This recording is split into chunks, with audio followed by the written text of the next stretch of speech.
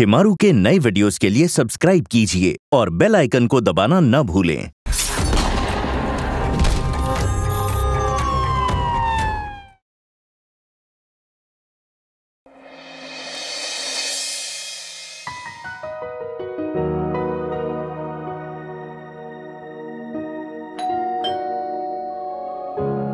Hi sir कैसे help कर सकती हूँ मैं आपकी? हेल्प नहीं। आपके प्यार की ज़रूरत है।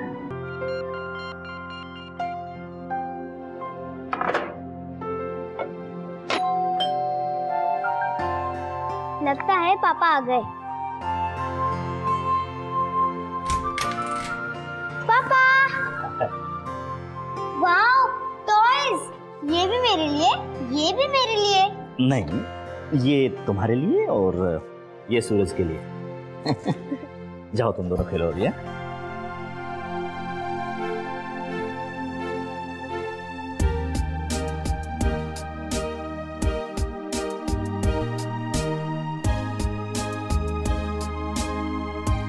हाँ? आप आ गए? आपके लिए खाना लगा दो।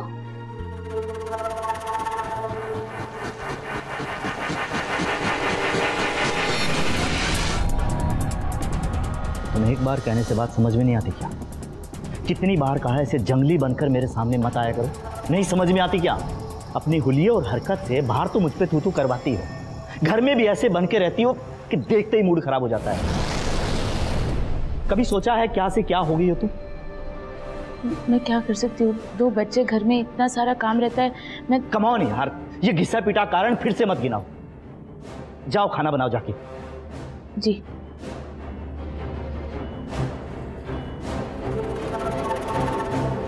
तुम्हारा बच्चों का ख्याल आ जाता है, वरना तुम में वो बात ही नहीं कि तुम मेरी ज़िंदगी में और इस घर में रह सको। जाहिल कहीं की।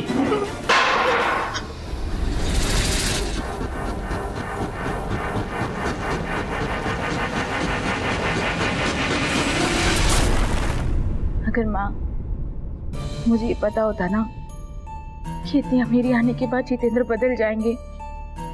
रोज रोज मुझे ताने देंगे, मारेंगे, पिटेंगे। शायद मैं कभी उनसे शादी नहीं करती। सरिता तू खुद को दोष देना बंद कर। समझी?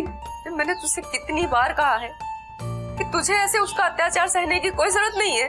तू बोल ना तो मैं पुलिस लेकर आती हूँ तेरे घर। नहीं माँ ऐसा ऐसा प्लीज़ कुछ मत करिएगा। अगर ऐसा आपने किया तो उसके बाद हमारा क्या होगा? और क्या पता उसके बाद वो बच्चों को भी ना छोड़े उन्हें भी ताने या मारे पीटे। फिर हम कहाँ जाएँगे? हमारा मदद कौन करेगा? तू फिर तो क्या करेगी?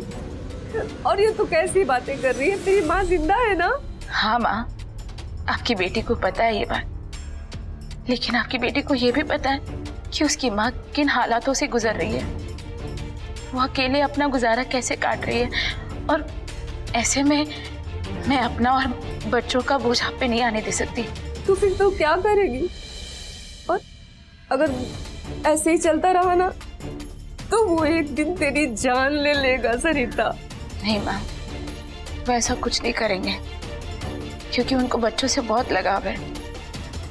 और बच्चों को मुझसे, खैर माँ, अब जो होगा देखा जाएगा। मेरी किस्मत में जो लिखा होगा वो मुझे मिलेगा। आप अपना ख्याल रखिएगा।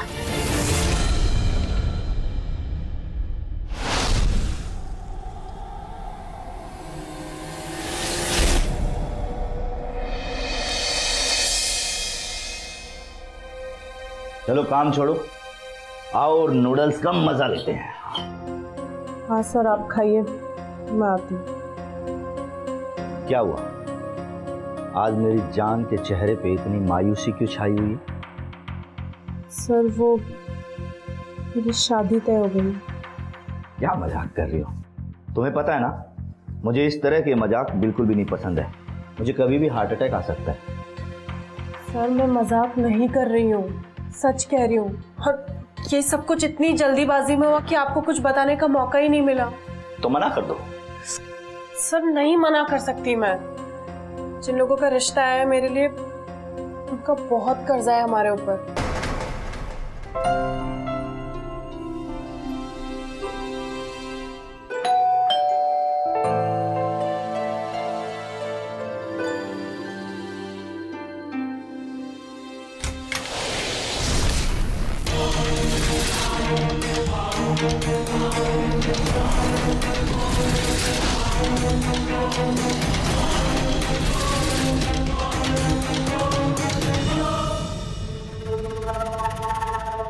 ऐसे खड़ी खड़ी हमारा मुँह क्या देख रही हो? जाओ, आरती की थाल लेके आओ और नई बहू का स्वागत करो। और तुम दोनों, इधर आओ। मेरे और अपनी छोटी माँ के पाँव छुओ। वहीं रुको। क्या ये? हाँ?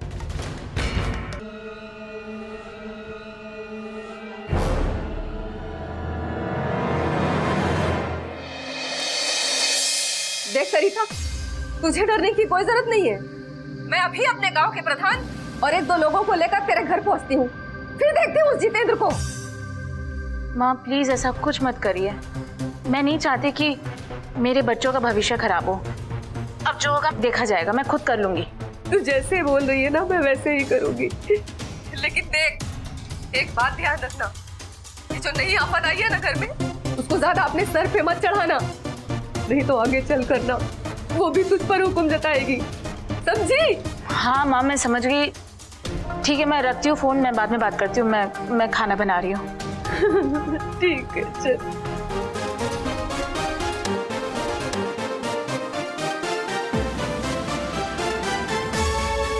दीदी जब गैस फ्री हो जाए ना तो मेरे लिए चाय चढ़ा दीजिएगा। क्यों? मैं तुम्हें यहाँ नौकरानी दिख रही हूँ। अरे ऐसी कैसी बात कर रही हो दीदी आप? मैंने तो बस इसलिए बोला क्योंकि नई दुल्हन आते ही गैस को नहीं छूती ना इसलिए। किसने कह दिया कि तुम नई दुल्हन हो? तेरी जैसी को दुल्हन नहीं कहते। वो क्या कहते हैं? वही जो तुम समझ रही हो। दो नंबर ही। दीदी आपका लिहाज कर रही हूँ इसका मतलब ये नहीं कि आपकी फालतू बातें बर्दाश्त कर लूँगी। वरना ज़ुबान मेरे पास भी है। क्या बात है? देखो ना जितेंद्र मैंने तो बस दीदी को इतना कहा कि गैस फ्री होते ही मेरे लिए चाय चढ़ा देना। दीदी तो इस बात पे भड़क गई और बस अनाप शनाप बोलने लग गई मुझे। लगता है ये अभी तक समझी नहीं। मार खाने की आदत जो हो गई है इसको अभी समझाता हूँ इसको मैं। अरे रुकिए रुकिए। जाने दीजिए। जब गैस खाली होगा तो मैं खुद ही बना लूँगी। चलो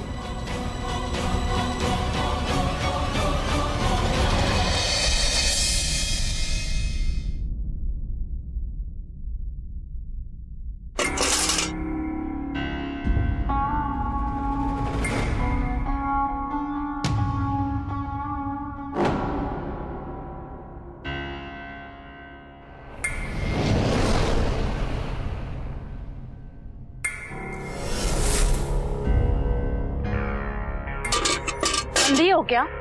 दिखाई नहीं देता? मेरे कपड़े अभी भी गिले हैं। अरे थोड़ी सी तो नमी रह गई है इसमें। ऐसे ही सूख जाएँगे ये तो। कपड़े डालने दो मुझे और फालतू के तमाशे मत करो। तमाशा मैंने नहीं बल्कि तुमने कर दिया है मेरी ज़िंदगी में। ऐसा है ना दीदी?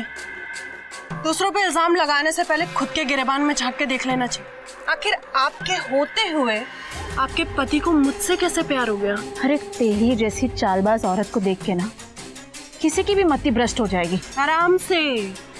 धीरे बोलो थोड़ा।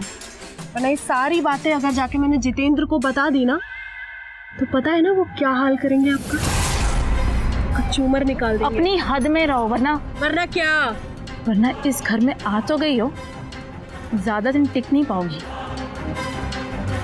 अच्छा। ठीक है। चैलेंज कर रहे हो ना आप मुझे?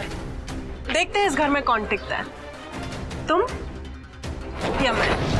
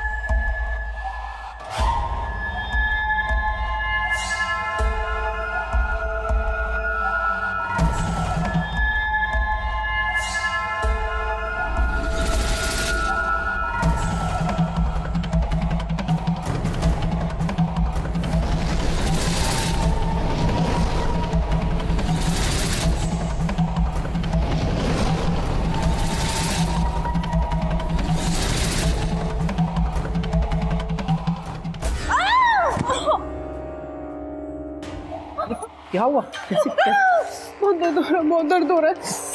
कैसे गिर गई तुम? अच्छा। तो ये साजिश रची जा रही है मेरे खिलाफ। दीदी मैंने आपका क्या बिगाड़ा है? मेरी जान लेने पे ही तुली हुई हो क्या क्या? ड्रामा मत कर मैंने कुछ नहीं किया। मैं सच कह रही हूँ मैंने कुछ नहीं किया तुमने कुछ नहीं किया तो तेल कैसे गिर समझ लो और समझा दो। आज के बाद इस घर में अगर प्रियंका पे आँच भी आई ना मैं तुम सबकी हालत बिगाड़ के रख दूँगा। समझे?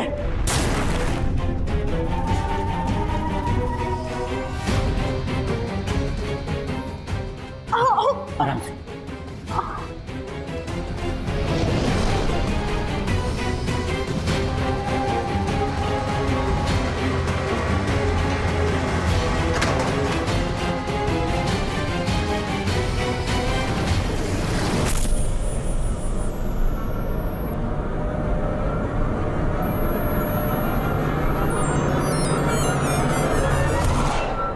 मम्मी पापा ने आपको मारा इसलिए मैंने झूठ बोला।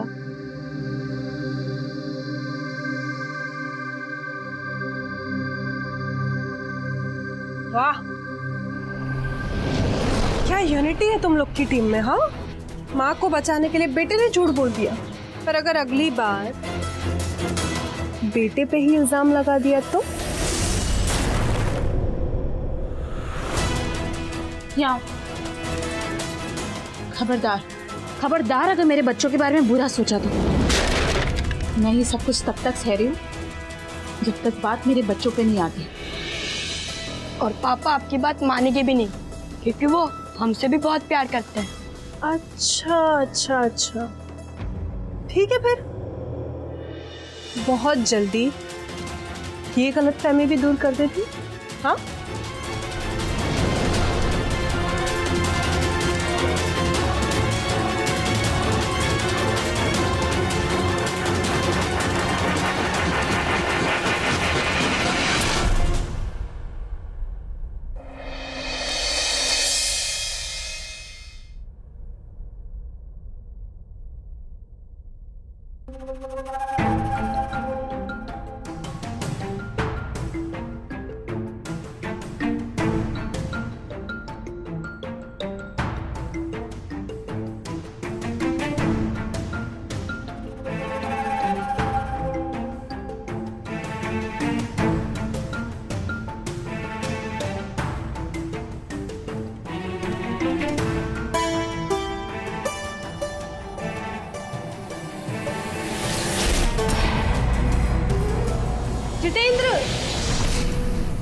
सुनिए ना। हाँ? मैं ना चाय बनाने जा रही थी। पियेंगे आप? बिल्कुल पियेंगे। अभी लेके आती हूँ। हाँ।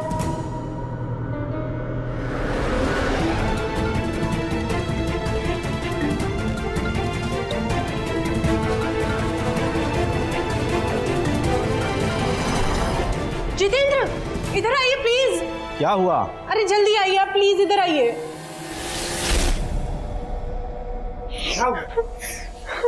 देखिए समझ आया मुझे। गैस लीक करके और खिड़की बंद कर दिया। ताकि जैसे मैं गैस ऑन करूँ और ऊपर चली जाऊँ। नहीं नहीं कुछ कुछ गलती से हो गया होगा। आप ऐसा कह रहे अरे पहले दिन से मेरे खिलाफ इस घर में साजिश हो रही है। खुद दीदी भी कहती रहती है कि मेरा किस्सा खत्म ही कर देंगी। मुझे तो सच में डर लगने लग गया पता नहीं मेरी ज़िंदगी के कितने दिन बचे हैं इस घर में।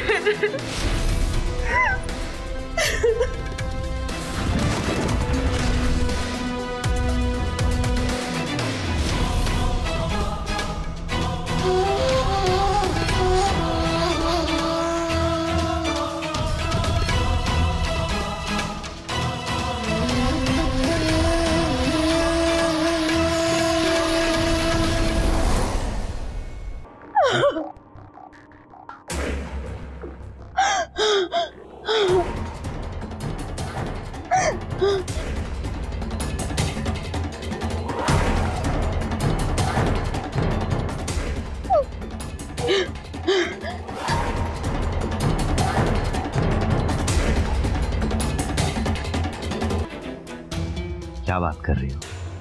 हमें कौन अलग कर सकता है बोला? हाँ?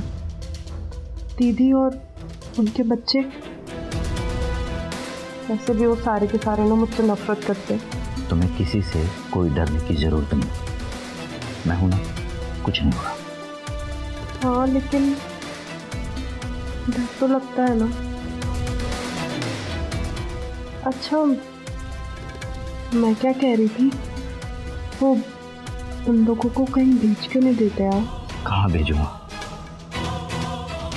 बेवजह का खर्चा बढ़ेगा।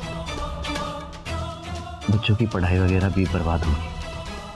और फिर सरिता के किए की सजा बच्चों को दूँ ये ठीक नहीं होगा ना?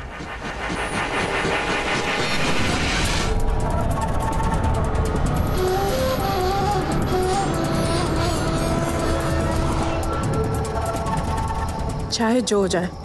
सरिता और उसके बच्चों को तो मैं इस घर से बाहर फेंकवा के रहूँगी।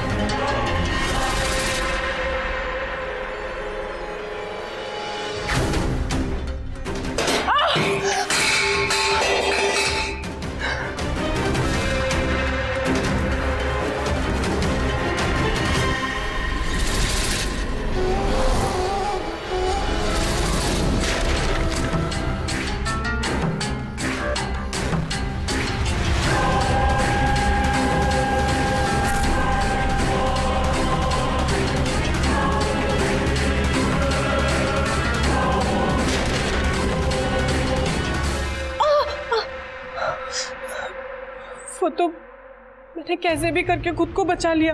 आ, वरना जिस तरीके से दीदी ने पतीला पलटा था ना मैं तो पूरी ही जल जाती। मैं आपसे कहती थी ना मुझे डर लगने लगा इस घर में।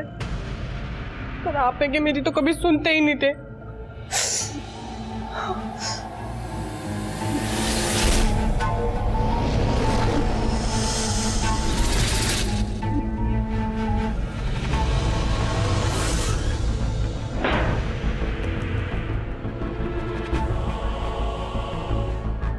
गंदा हूँ और बुरा हूँ। मैं दिखाता हूँ तुम लोगों को कि मैं कितना गंदा हूँ और कितना बुरा हूँ। तुम लोगों से मेरी एक खुशी बर्दाश्त नहीं होती है। अब देखना एक एक चीज़ के लिए मैंने तुम लोगों को तरसा नहीं दिया, ना तो मैं तुम्हारा बाप नहीं।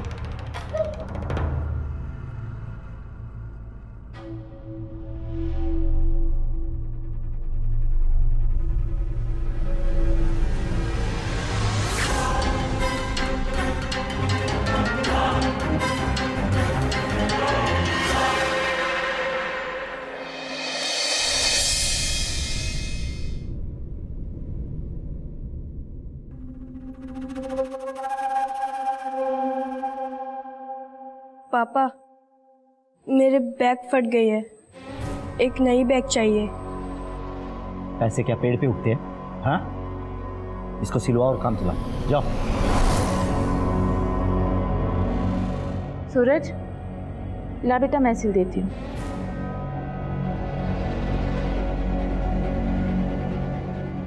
इंद्र। हाँ? सुनो ना। कुछ कपड़े प्लीज़ ड्राई क्लीन करवा देना। ओके कैश है क्या? दे दो ना मुझे जरा काम है। बिल्कुल है। कितने दिन सारे दे दो। ठीक है मैं ये ड्राई क्लीन करवा लेता हूँ। अच्छा सुनिए ना। हाँ। आते हुए ना मेरे लिए कुल्फी फालूदा ले। ओके।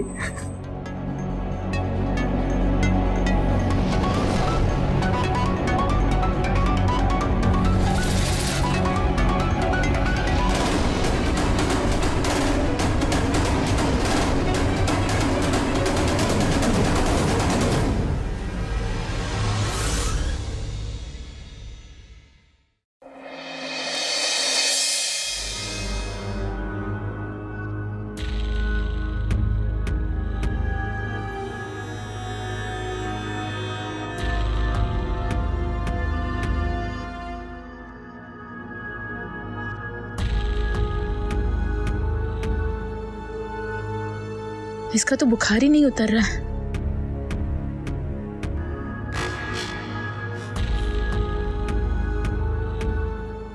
बेटा एक मिनट देखना मैं आती हूँ।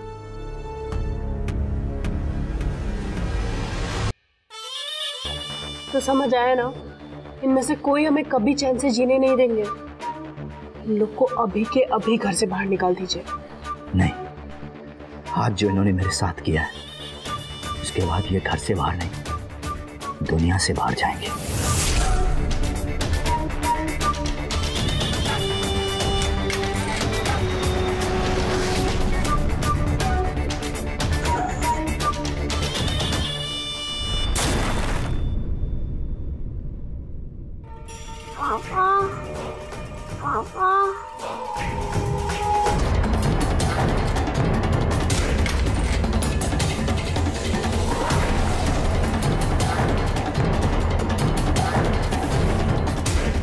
ड्रामा शुरू करें।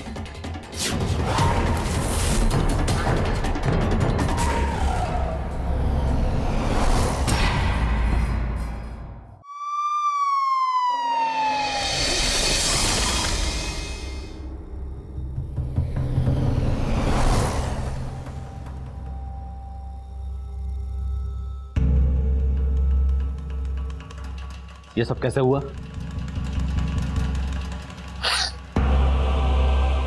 हम लोग सो रहे तभी हमने सरिता और बच्चों की चीखने की आवाज़ सुनी। हम बाहर आए तो हमने देखा वो तीन, तीनों के चेहरे ढके हुए थे। मैंने शोर मचाना शुरू किया। वो लोग भाग गए। मैं उनके पीछे भी भागा। लेकिन वो लोग भाग गए। अच्छा।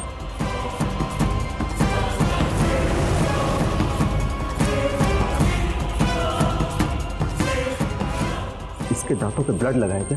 हाँ।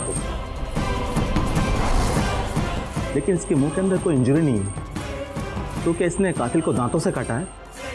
हो सकता है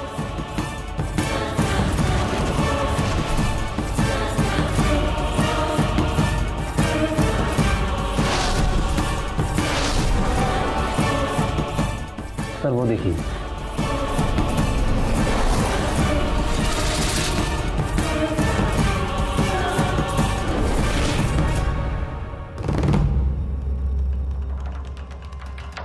ये तुम्हारे हाथों को क्या हुआ? है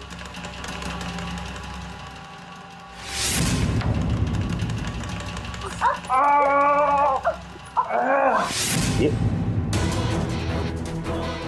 ये जख्म हुआ। जब मैंने उन चोरों को रोकने की कोशिश की तो उनमें से एक ने मुझे जख्मी कर दिया। अच्छा। चोरों ने तुम्हें जख्मी कर दिया हम्म? हाँ।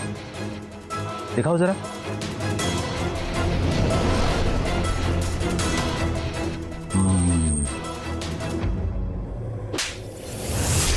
सच बताओ।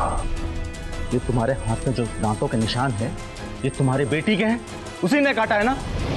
अरे मैंने आपको बताया ना चोरों ने काटा है नहीं काटा है मेरी बेटी ने। झूठ मत बोल।